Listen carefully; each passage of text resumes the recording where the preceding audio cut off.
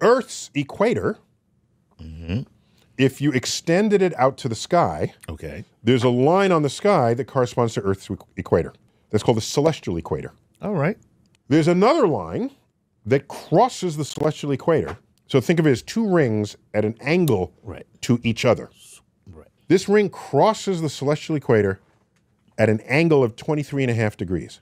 Okay. 23 and a half degrees. 23 and a half degrees. That line is the path throughout the year that the sun takes against the background stars. Of course, the sun is not taking a path. Right. We're going We're around, going around it. It. it. Right. But let's be pre-Copernican here, Right. just to make the discussion simple. Okay.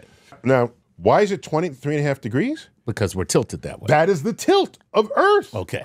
And because we're tilted, Right. the sun doesn't line up with our equator. If we were not tilted, that path of the sun would be right on Earth's equator. The moon, in its path around the Earth, has its own Line. path, its own line. That's angled five degrees to our ecliptic. Okay.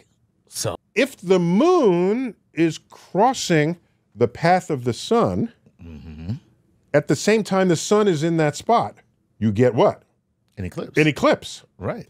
So this path the sun takes around the Earth is called the ecliptic, because that's where you would get an eclipse. Nice. Okay. Ecliptic. the ecliptic. Yes. All right.